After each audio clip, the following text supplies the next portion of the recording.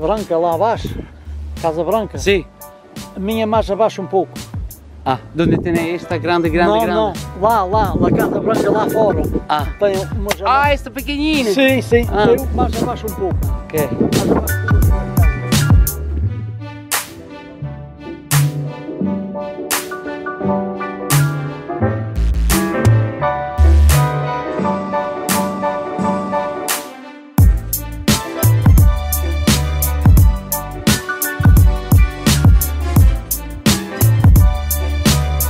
Fare video è difficilissimo, soprattutto se non spingi rec.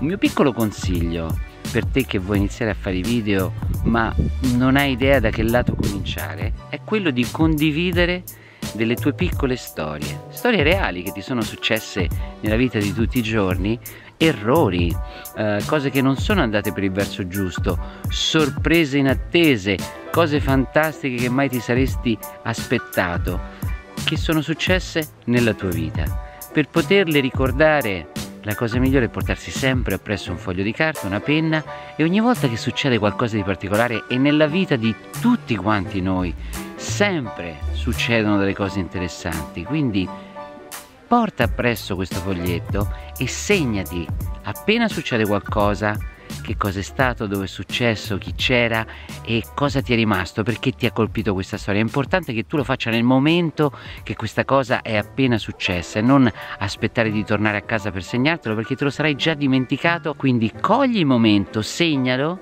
e poi quando accendi la telecamera allenati a raccontare queste piccole storie di 2, 3, 4, 5 minuti aggiungendo in fondo quella che è la tua morale, che cosa hai imparato da questa storia, cosa hai scoperto.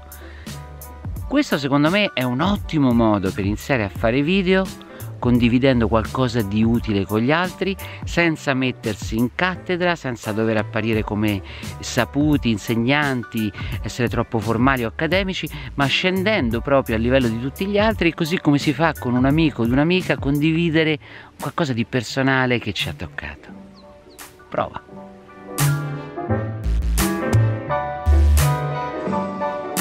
Spingi rec. Spingi rec.